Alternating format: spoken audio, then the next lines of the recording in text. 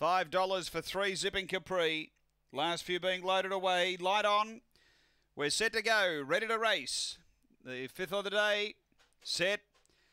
Away, speed here, Sunset Watch, headed off early, it got back in the ruck, getting to the lead, Outbreak Girl got clear of W back, Sunset Watch driving the rail hard now, uh, then Zipping Capri from Fargo Victorum, next to Sharp Catch, Black Rock busy and out the back, Blackpool Ivy getting through, Sunset Watch found her a passage, straight and clear now of Outbreak Girl, uh, then W back, but the fave too good, Sunset Watch, uh, second Outbreak Girl, third is W back, and behind those Zipping Capri, uh, they were followed by Fargo Victorum from Blackpool Ivy, uh, Blackrock Busy, and back at the tail, Sharp Catch. The time 23.09.